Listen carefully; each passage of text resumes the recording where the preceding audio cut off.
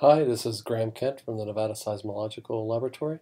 We're going to use a fire that just uh, started a little before 3 p.m. today uh, near Spooner Summit to take advantage of uh, how we can use two cameras to locate a fire. Right now you're looking at the uh, Snow Valley camera pointing to the south and we can do a little time lapse uh, for the last hour or so and we can see how Camino has pointed the cameras uh, down towards the actual incident. That's for the last uh, hour, and we can also head on over to Homewood and see the progress of the fire from Homewood, and also time lapse. In this case, maybe we'll do 15 uh, minutes, and we can see how it's going there. Now, if we look over to our um, our uh, right, there's our nifty uh, map with our cameras and some options. And if we go up to the upper right, you can see how we can turn camera targets on and off. So we're going to keep them on.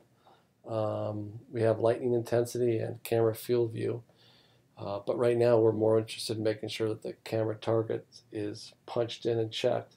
Now if we go down and right click at the intersection of Snow Valley and Homewood, we're going to get a latitude and longitude.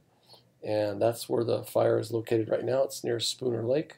And that would give you the coordinates uh, of the fire since both the Homewood camera and the Snow Valley Peak camera are centered on the fire itself.